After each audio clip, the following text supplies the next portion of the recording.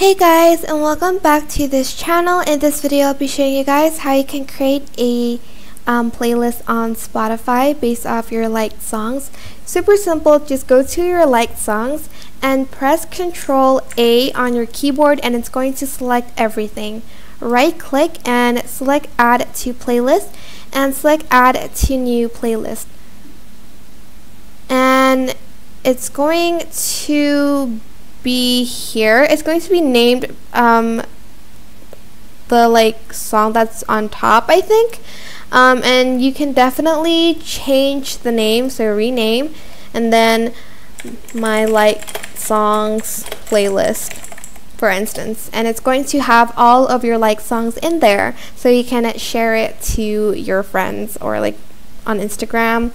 Um, because this like your liked songs aren't public, but if you put it like on a playlist, it will be public.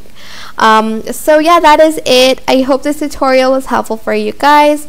Don't forget to like, comment, share, and also subscribe to this channel if you haven't done that already. If you have any questions, just leave it in the comment section down below, and I will try my best to answer them all for you guys. If you found this video helpful, please click the thanks button above the description box down below. Thank you so much for watching. Bye!